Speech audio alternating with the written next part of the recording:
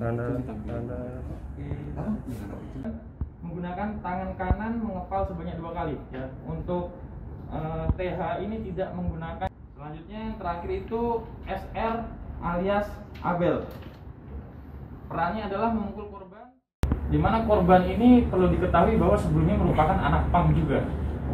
Ya korban RS merupakan mantan anak pang dia bertemu dengan kelompok anak pang mungkin dia merasa bahwa saya bagian dari mereka.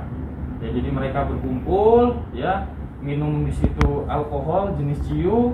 Akibatnya mungkin ada salah paham atau salah perbedaan persepsi cekcok lah. Di mana korban mengeluarkan kata-kata kasar lah. Di situlah awal mulanya.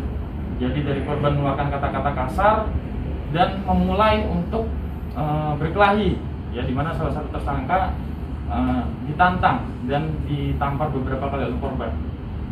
Jadi dalam keadaan sama-sama mabuk em, akhirnya mereka sama-sama emosi dan melampiaskannya. Posisi korban itu RS masih berada di TKP Pengumpulan sampai Hmm. dengan pukul 3 pagi. Ya jadi saya tegaskan kembali yang didorong ke kali itu adalah temannya atas nama A. Ya dan dan saksi A ini sekarang dalam kondisi selamat ya jadi korbannya sendiri adalah RS nah mengapa dia ditemukan mengapung di kali pada hari Jumat itu itu masih kita lakukan pendalaman lagi.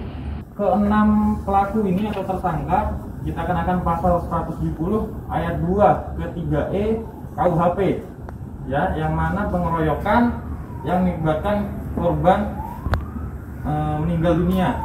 Ya jadi ancaman dari pidananya adalah 12 tahun